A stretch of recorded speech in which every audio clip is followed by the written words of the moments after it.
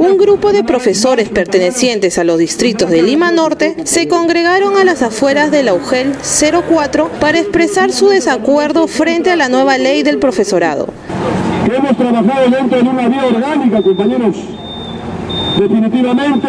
Conversamos con el secretario general de la UGEL Sector 12, Julio César Ortega, quien aseguró que entregó una propuesta educativa ante esta reforma. El motivo fundamentalmente de hoy, reunidos acá en el frontis de la UGEL 04, acompañados masivamente de los maestros de los distritos de Comas, de Caraballo, Puente Piedra, Ancón, Santa Rosa de Quibeses, básicamente porque estamos dentro de un tiempo de, de, debate de ideas y de propuestas. En ese sentido, hoy hemos puesto ya en conocimiento de nuestra localidad, en el distrito de Comas y Caraballo, de que estamos haciendo llegar al Congreso de la República el documento acabado de la propuesta de nueva ley del profesor, en contraposición al proyecto de desarrollo docente del Ministerio de Educación, propuesta del gobierno del presidente Ollantumala. Además, Ortega aseguró que está de acuerdo con la nueva evaluación, pero no con el despido de los trabajadores.